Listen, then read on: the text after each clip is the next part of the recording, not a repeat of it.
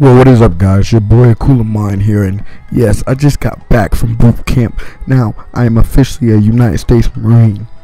Anyways, guys, we're coming back with Akula comeback RC. So, players, I need you to hit 720. Originality always counts. There's no Nuketown, quadsing up, no splits, be active, and no clan time this time. Because I just want you guys to worry about hitting the clips and do what you gotta do. The due date's November 18th.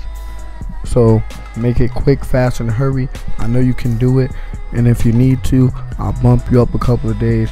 Just trying to make it fast because I know you guys can hit clips fast. Anyways, last but not least, we have the editors and designers. Designers, you just have to make a revamp. That's all I'm asking for. Editors, you already know what you gotta do. Send in your commissions, send in your clips, and all of that good stuff. Anyways, it's your boy Cooler Mind, and I'm out. I love you guys. Thanks for the support.